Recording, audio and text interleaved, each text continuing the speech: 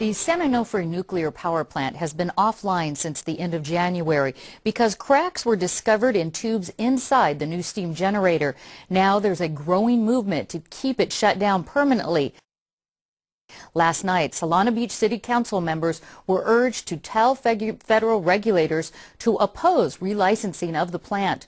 Earlier this week, the city of Irvine in Orange County did just that. Here with me today is Arnie Gundersen, former nuclear executive and author of a report for the Friends of the Earth environmental group. Arnie, thanks for joining us today. Hi, thank, thanks for having me. So my first question is, what did you tell the Solana uh, Beach City Council members? Well, inside these steam generators that have developed the crack, there's 19,000 pipes, about the size of my finger, and they're vibrating. So they're colliding with each other, and the leak that was created um, was small, and Southern California Edison shut down quickly.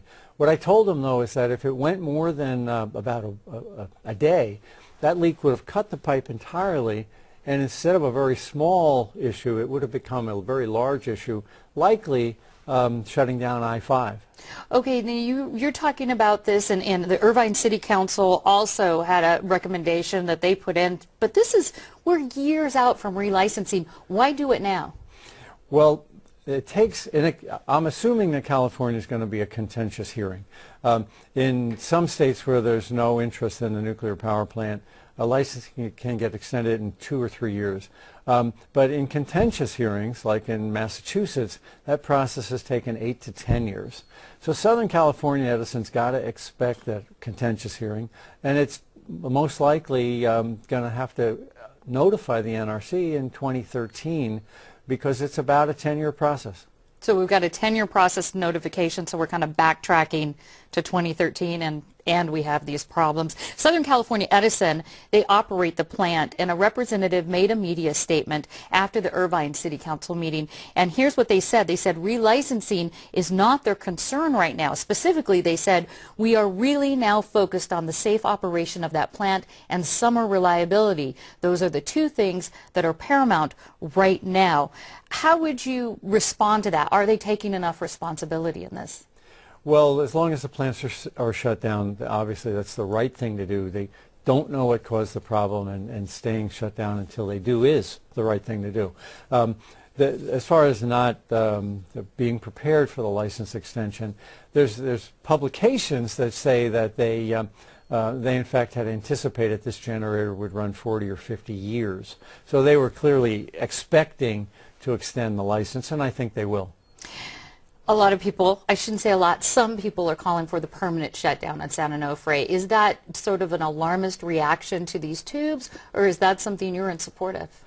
Well, Fukushima has taught us two things, and, the, the, tsunami issue and, and, and earthquake issue, both of which they have here. That's thing number one. And, and the next thing is the emergency planning.